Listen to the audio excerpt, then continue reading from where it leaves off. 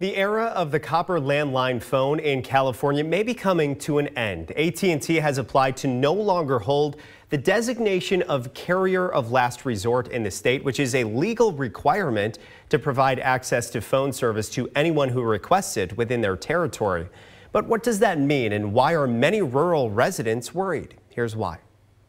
Miles out of the city of Paso Robles, hummingbirds gather each day around feeders Robert Lawrence has in his front courtyard. The peace and quiet offers a serene hum but with this little slice of heaven, Robert tells me lies an issue. We're dependent on a landline for all of our telecommunications. His home, in the spring, it's really beautiful. Along with many others in the surrounding rural area, have little access to internet and hardly any cell service. So we could put up there, but the uh, the opportunities are really tough because you got to get power up there. It's like 10,000 bucks to put a tower up there with a solar system. That, Lawrence says, is too cost prohibitive. And they, once upon a time, installed a copper wire all the way to our house, and they didn't do it because it was profitable. They did it because they were required to. But there could be a problem on the other end of the line.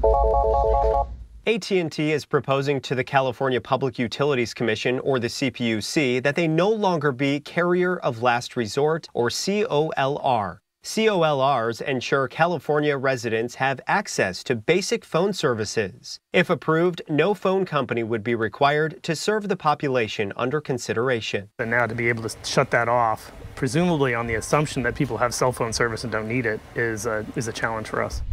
The highlighted blue on this map shows the area in which AT&T proposed to no longer be the COLR across the state. In San Luis Obispo County, it's nearly the entire area. This could be a major issue, says Tracy Rhine with Rural County Representatives of California. Catastrophic wildfire, mudslides, flooding, these are areas that um, we'll see, see these kind of natural disasters more often. These are areas that really need to have reliable service, reliable communication services for evacuation notices, Scott Jalbert with SLO County Emergency Services says the upgrading of technology, moving away from copper, will ultimately be beneficial with more services offered like internet and VoIP, which is Voice over Internet Protocol, but the access to backup means of communication is essential. For us, it's important that residents have a backup communication system. We're all very reliant on cell phones, and when cell phones go down, it's nice to have that secondary means of communication. An AT&T representative tells me they are working to upgrade a traditional copper-based phone service to newer technologies like fiber and wireless, but they could not confirm who would pay for the upgrades.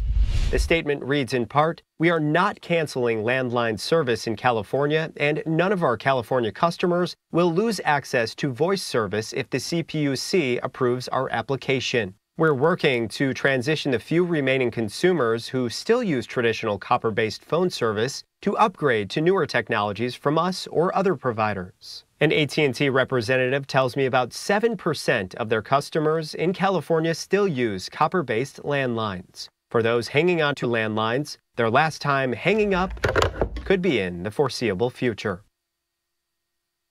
And if you want your voice heard on this matter, there are three public participation hearings left, two of which are in person only, and one of them is in Ukiah, which is a city in Mendocino County of just 16,000 people, and that's about two hours north of San Francisco. That's happening on February 22nd. Only one of them is virtual, but you can also submit public comment. That information will be on ksby.com.